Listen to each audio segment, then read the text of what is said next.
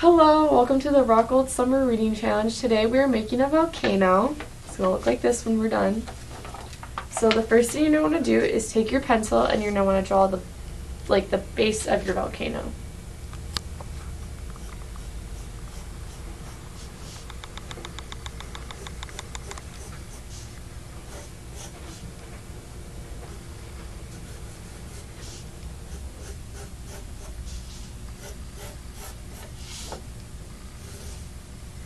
So once you've drawn the base of your volcano, you're going to take the orange paint. I already poured mine out. But you're going to stick your hands in it.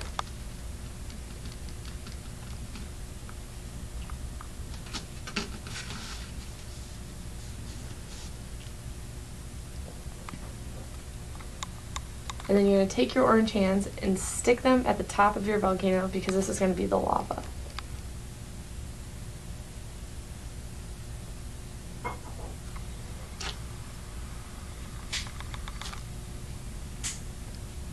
And then you're to break and go wash your hands because your hands are all painty now and you want to wash that off.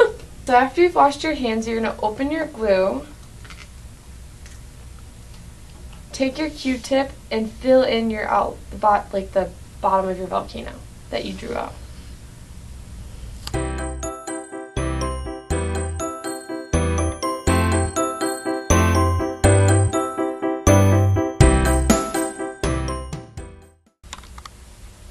Next, you're going to take your pencil and your little brown squares, and we're going to start making the rocks for the volcano.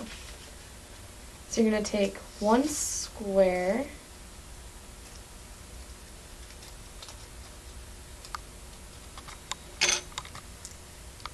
just use it, and you're going to wrap it around the dull end of your pencil, and you're going to squish it around it. So it looks like this. And then you're going to take it and you're going to put it in your glue. And then you're going to keep doing that until the bottom of your volcano is filled in completely. So I'm going to do that right now.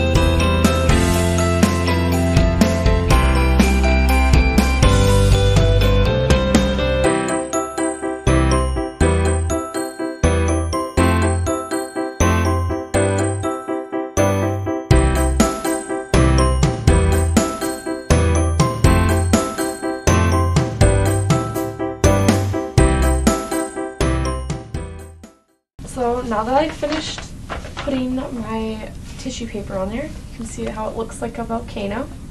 So that's it for today's craft. The uh, code for the kids is stone soup and the code for the teens is sherbet lemon. See you guys next time. Bye!